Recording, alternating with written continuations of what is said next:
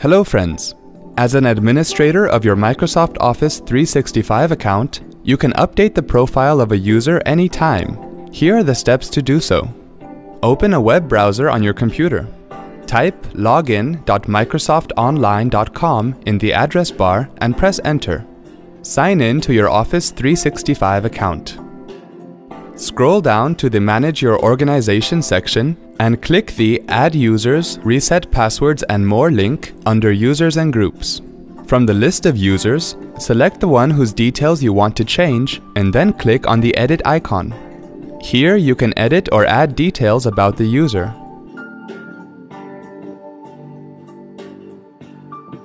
When you are done, click Save. The changes will reflect on the user's personal profile with immediate effect. See, that wasn't hard at all. Thanks for watching.